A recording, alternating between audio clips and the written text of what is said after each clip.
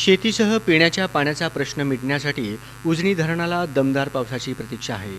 जिल्ह्यातील बहुतांश लघु प्रकल्प अद्याप कोरडेच आहेत. शासन दरबारी नोंद असलेल्या तारखेनुसार पावसाळा संपण्यास बारा दिवसांचा कालावधी शिल्लक आहे. उजनी धरण ऐंशी टक्केवर पोहोचले आहे. तर लघु व मध्यम प्रकल्प अद्याप कोरडेच आहे. यामुळे शेतीसह पिण्याच्या पाण्याचा प्रश्न सुटण्यासाठी उर्वरित दिवसामध्ये दमदार पावसाची प्रतीक्षा आहे. उजनी धरणात एकूण एकशे सात टी एम सी पाणी आहे. तर बोरी व पिंपळगाव ढाळे वगळता इतर मध्यम व लघु प्रकल्प कोरडे आहेत. यामुळे येणाऱ्या काळात जिल्ह्यात दमदार पावसाची प्रतीक्षा आहे. दमदार पाऊस न झाल्यास येणाऱ्या काळात जिल्ह्यात पाणी टंचाईस सामोरे जावे लागू शकते.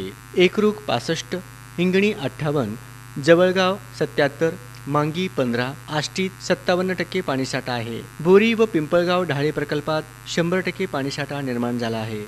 जिल्ह्यात दमदार पाऊस न झाल्याने बहुतांश लघु प्रकल्प कोरडेच आहेत. दक्षिण व अक्कलकोट तालुक्यातील अनेक लघुप्रकल्प भरलेले आहेत.